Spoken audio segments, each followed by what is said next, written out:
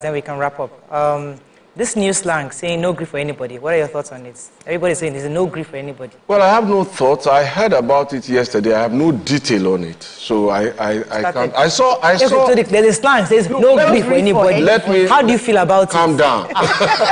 Because you're asking me political question. You're- I don't know where it originated Yes. from, and I don't know what the context is. But I saw. Where was I? I was at. I was at some place yesterday afternoon. I was on my way. Yeah, I stopped by to pay a a condolence visit. Okay. That's what happened. So I saw the first PRO saying something about no gree and, and so that was all I.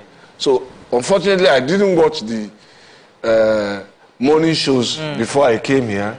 So I don't know what the context is. So I can't comment. Okay. So all that all that language just say you cannot comment. Yes, now. We have to wrap up. We run out of time. So how can they get the book? Because Once Yeah, it's not yeah, a launch, it's book, launched in yeah. February. So after There's that, a launch get on February 8th, but there is also an opportunity to pre-order.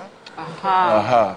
So, and that's on uh, Instagram and Twitter. You can find that if you go to the site of the Yeah. publishers, Kuramo. Kuramo. Kuramo. Because there's always this here that for he wants the book. I don't care how much it is. Please, where can I get it? Thank you very much, sir, for, for coming. We appreciate you. Thank It's you Round of for show. having But let me just end with this quote from Mr. Raji Fashola himself. He says, Our understandable demands for improvement and the speed at which we seek the improvement must not blind us from what has been achieved, because these represent the foundation on which the improvement that we seek will be built upon. So I think that's a powerful message to Nigerians not to criticize all the time, but understand, also appreciate what we have right now and encourage ourselves. Nigeria will be great again, and I'm really proud to be here. And thank you again, sir. Thank you for for coming. joining us on the show. Thank you.